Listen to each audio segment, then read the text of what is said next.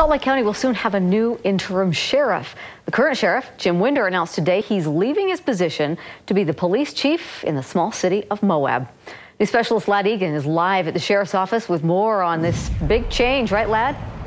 Yeah, big change, Deanie. And you know, the sheriff says he's excited about this new opportunity, but he's also glad to be leaving some problems behind, like chronic jail overcrowding and the homelessness crisis. He says that he there is some frustration as he's tried to push forward with changes in hopes that once he's gone, those changes will finally take hold. Whoever the hell wants to take credit for it can take credit for it or do whatever, but do something. So you bet I'm frustrated. And uh, my opinion is many in the county are too.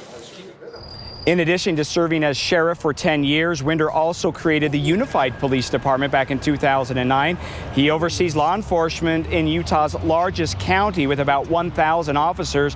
Those numbers will drop drastically in Moab, where the department only has about 17 officers, and he won't have to manage a jail.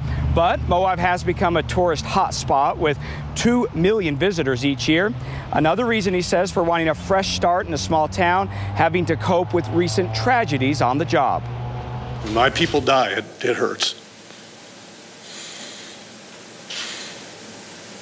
Said I wasn't going to cry. I'm sorry. Winder said he has had to de deal with difficulties over the past year, specifically mentioning the death of Unified Police Officer Doug Barney, who was shot and killed in January of last year while looking for a man who left the scene of a traffic accident. In a statement today, Moab's mayor praised Winder, saying his approach to policing is exactly what Moab needs right now. And the mayor says he is heartened to know that Winder will lead the department into the future.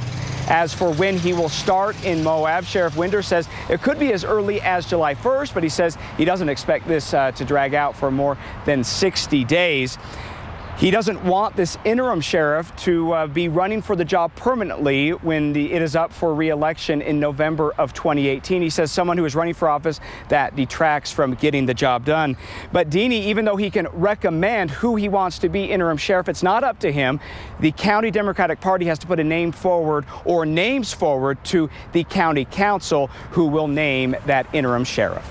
Yeah, certainly will be a big appointment and a big shakeup in law enforcement. Ladd, thanks.